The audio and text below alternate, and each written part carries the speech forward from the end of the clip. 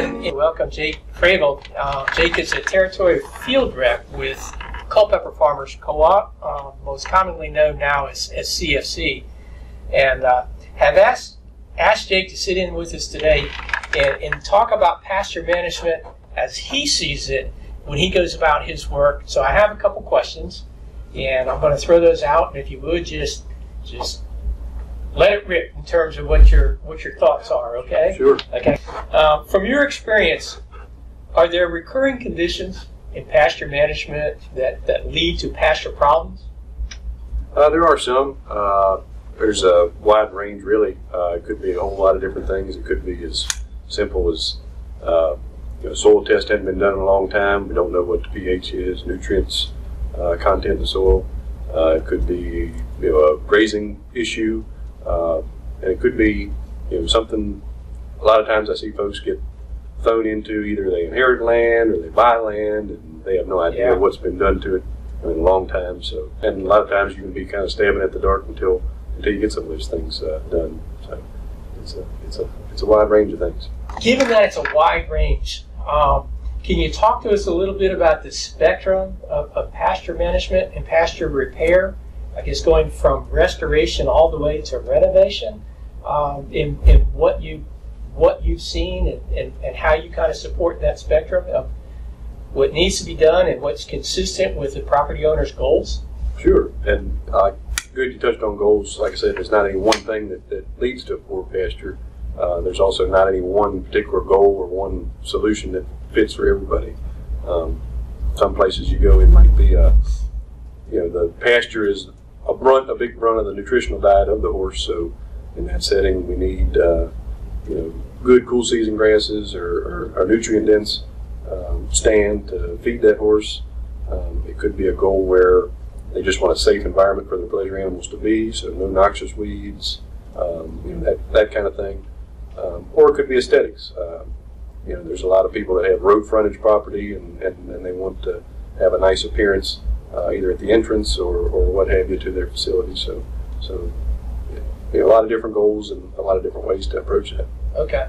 Have you ever run into a, a situation where, let's say, the goal of appearance um, is not consistent with the nutrient goals of the animal? So let's say folks have a couple fat ponies, and what looks really good may not be good for the animals. Oh, sure, sure. Yeah, that that that comes in play, and and you've got to kind of balance those two things very well. So whether that be uh, maybe restricting the time out on those pads, if you want them nice and lush and green, maybe we got to do some some management changes. Uh, you know, with how long they're out on it, or uh, or uh, uh, some other routes. So yeah, So there's the idea that lush and green may not be necessary all the time. not always, not Okay, always. Not It all depends again on, on what your goal is. So, Very good. All right. Um, would you be willing to run through a, a couple of scenarios that you've you've uh, worked with um, with equine owners in the past, and, and you've helped them address uh, different pasture management needs? Sure. Uh, maybe not so much specific example, but just kind of ideas of different routes you can go. Um, it can be as intensive as uh, we take a soil sample. If, if lime's needed to raise the pH, uh, we do that. If it's you know granular fertilizers, put those down. We will, um, and maybe even on top of that, some kind of weed weed control as well. It can be as intensive as all those things, you know, on top of each other, or it can be as minimalistic as maybe uh, horses are spending too much time in one area. Maybe we think about rotating a little Okay. quicker or, or, or something to that effect. Uh, and, uh, you know, it could be as simple as put a couple bags of dolomitic lime on the property, raise pH or, Okay. or what have you. So there's, there's, there's, again, a wide spectrum of, of very small steps you can take to, if it's, I need it done, I need looking good next year, it can be done more aggressively. And, and with that, um, there's a lot of wide range of services people in the state provide.